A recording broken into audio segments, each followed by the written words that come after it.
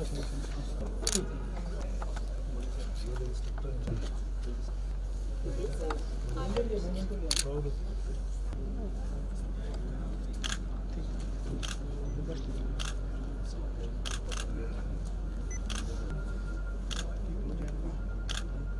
will ensure that you always get. I'm proud of what you are doing. Keep doing.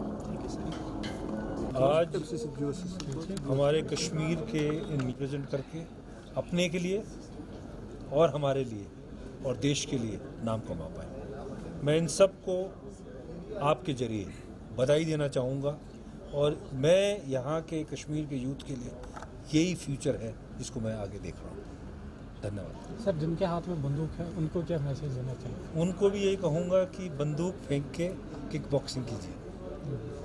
India को represent कीजिए। उस रास्ते में मत जाइए, जिस रास्ते में सिर्फ़ आगे अंधेरा है।